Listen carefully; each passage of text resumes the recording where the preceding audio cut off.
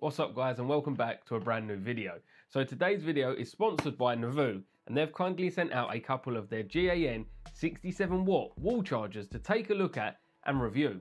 So let's get into it and see what we think. Firstly, we can see some of the key features of this charger displayed on the packaging here.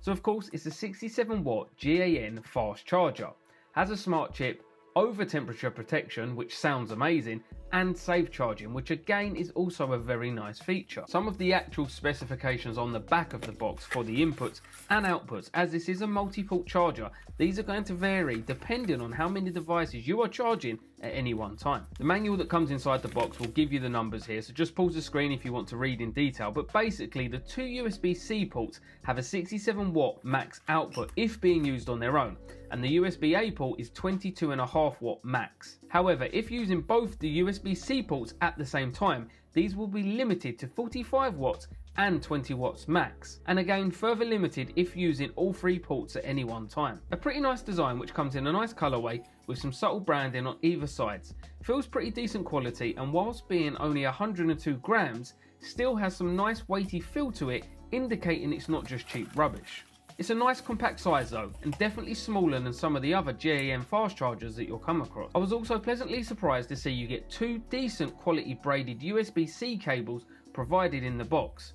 Usually if you're provided cables with a charger, you know the quality is going to be pretty rubbish, but these are really, really solid, both rated for 100 watts and come in 1 meter and 1.5 meters in length. Having a multi-port charger is a must I think for anyone nowadays because we all have so many devices and at an absolute minimum I think the majority of people tend to have a laptop and a phone either whilst working at home or even traveling so being able to charge or power multiple devices at the same time is an absolute must for myself. Let's get it plugged in and connect some devices to make sure everything works as expected. I'm going to connect both my MacBook and my ROG Phone 8, instantly hearing the sound from the MacBook indicating that it is connected and being charged. And then again for the ROG Phone 8, and the ROG was actually being fast charged here whilst the MacBook was also charging.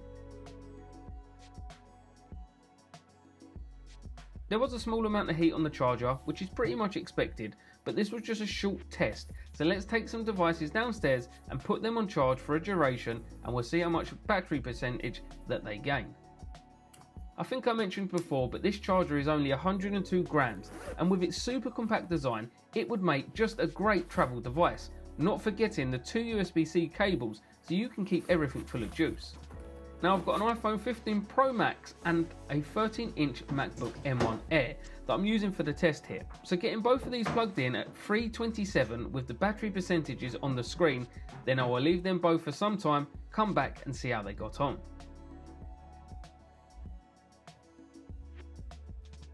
I left them both to charge for about 40 minutes and came back down to check the percentages. So the iPhone went from 24% to 76% and the MacBook went from 57% to 88%.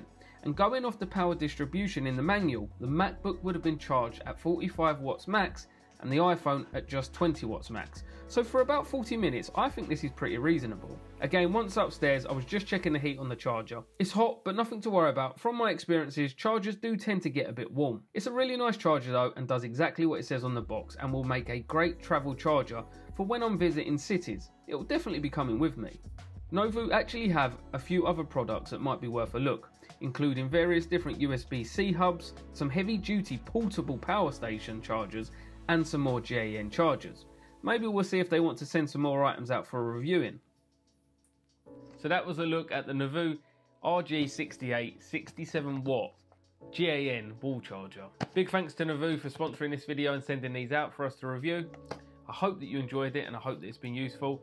As always, you'll find all the links down below in the description. Thank you so much for watching and I'll see you in the next one. Bye for now.